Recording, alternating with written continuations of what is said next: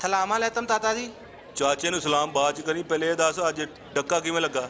ਨਹੀਂ ਹੋਇਆ ਤੋ ਇੰਜ ਤੇ ਥੁਰੂ ਥੁਰੂ ਤੋਂ ਥੋੜੀ ਥੰਦ ਸੀ ਤੇ ਲੜਤਿਆਂ ਦੇ ਹੱਥ ਨਹੀਂ ਥੁੱਲੇ ਬਾਅਦ ਚ ਥੋੜੀ ਧੁੱਪ ਲੱਦੀ ਤੇ ਥੱਤ ਹੋਦਾ ਦਰਅਸਲ ਸਾਡੇ ਅੱਧੇ ਥਲਾਰੀ ਥੋਲਲ ਪੈਨਲ ਲੈਦੇ ਆ ਤੇ ਅੱਜ ਫਿਰ ਤੇਰੀ ਬੈਟਰੀ ਕਿਉਂ ਡਾਊਨ ਹੋਈ ਸੀ। ਤੋਈ ਨਹੀਂ ਹਰੇ ਬੰਦੇ ਦਾ ਹਰ ਬੰਦਾ ਮਧਾਤਾ ਦਾ ਤੁਸੀਂ ਵੀ ਧਾਰ ਲਿਆ ਤੇ 30 ਹੋਇਆ ਵੈਸੇ ਤਾੜੇ ਜੇ ਤਮੰਤਰ ਜਿਹੜੇ ਆ ਨਾ ਤਮੰਤਰੀ ਤਰਦੇ ਤਰਦੇ ਪਹਿਲਾਂ 30 ਤੇ ਆ ਜਾਂਦੇ ਆ। ਵਾ ਤਾਂ ਗੁੱਡ ਸ਼ਾਟ ਗ੍ਰੇਟ ਫੁੱਟਵਰਕ ਕੋਈ ਦਵਾਈ ਲਿਆ ਦਿਓ ਜਾਂ ਮੇਰੇ ਢਿੱਡ 'ਚ ਪੀੜ ਹੁੰਦੀ ਆ।